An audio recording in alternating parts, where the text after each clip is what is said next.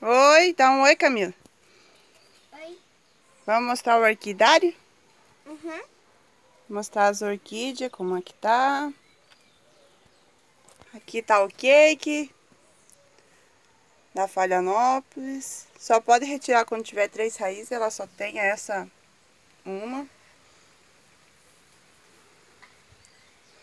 Essa minha bealhária, acho que é assim que fala. Outra Falhanópolis, olha, cheia de raízes. Essa tá com macho floral. Minha sapatinho. Um, outro chifre de viado. Quando eu mostrei meu jardim, eu mostrei um. E agora eu tô mostrando esse aqui que coloquei aqui nesse tronco. Tá bonito, né? Essa uncíndio tá florescendo, ó. Ali é a chuva de ouro. Que também tá chovendo aqui. Ó a floral. Dessa, essa é uma orquídea terrestre. Ela é bonitinha porque ela é cheia de, de um desenho assim na... Uns desenhos na folha. A minha capuz de freira. As copleias.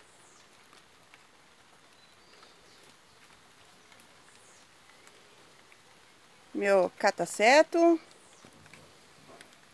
Ai. Acabou a floração já. Minha brácia. Olha só. Olha aqui o tamanho desse broto. Enorme. Lindão, né? Aqui as cotleias. Aqui tem uma, uma planta carnívora. É, uma depentes o nome. Olha, cheio de raízes. Olha só. Só que maravilhosa. Tô, tô Aqui. com uma ansiedade, uma ansiedade para abrir logo essa espata floral. Eu também Acho que até estou. final do, até janeiro assim, ela vai estar tá florida. Aí eu vou mostrar. Olha o brotinho. Aqui estão as cimbídeos.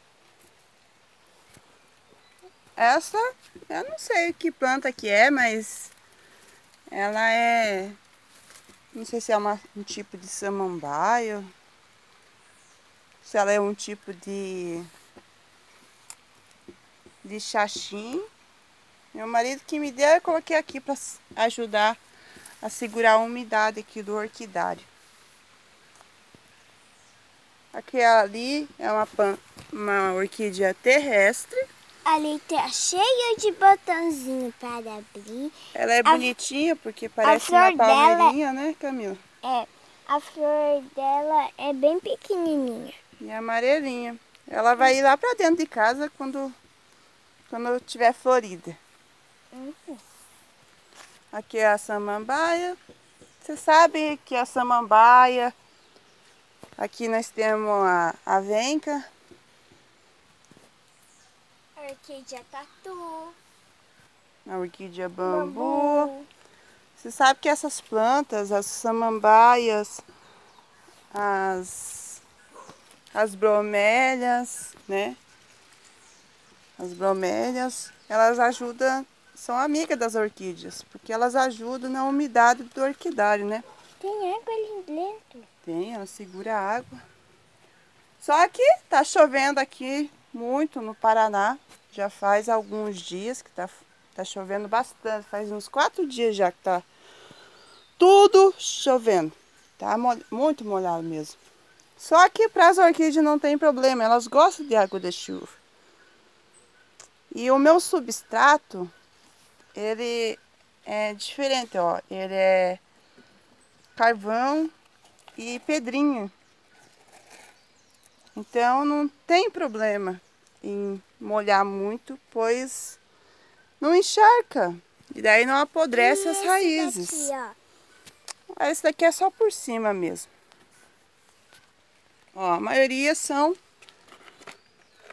são pedrinhas e carvão Ó, essas que estão na, na, no tronquinho, na madeira, elas não tem problema em, ficar na chuva e apodrecer e molhar essas coisas. Ó, e elas vão super bem nas pedrinhas. Na pedrinha, no carvão. Ó, esses aqui são um pouquinho de pauzinho podre que, que eu acho na beira do rio ali. Ó. É carvão, pedrinha. Então não tem problema elas, elas ficarem na chuva. As falhanópolis também, ó. É a mesma coisa. Elas, o problema é molhar aqui nesse miolinho aqui, ó. E eu tô vendo que não, não tá molhando. Né? Olha só. Mas tá chovendo muito aqui no Paraná. Já faz, olha, um, desde o Natal. E nós já estamos pertinho do ano novo, ó.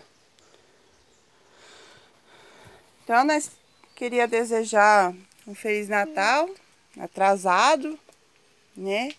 Que vocês tenham bastante saúde e paz. E um feliz ano novo. É. Adiantado. E um feliz ano novo. Adiantado. Adiantado, né? Na verdade é, é, é hoje, na virada meia-noite, vai ser o ano novo. Eu espero que o ano novo seja repleto de paz, de amor, que Cristo venha nascer no coração do, dessas pessoas para fazer o bem. E eu espero que vocês tenham bastante orquídeas floridas também. E que sejam muito felizes nesse ano. Olha, e quando eu vou, vai florindo aqui, eu vou mostrando para vocês. Vou mostrando as novidades, as orquídeas que eu ganhei. Vou mostrar elas. Daí eu vou falar. Ó, é mudinha. Essa daqui eu ganhei também, uma mudinha. Esta. Cata seco. Cata seco. E elas estão tão bonitas. Olha só o tamanho dessa bolinha. É uma bola, parece. É um bulbo. Tchau. Tchau. Até o Tchau. próximo vídeo.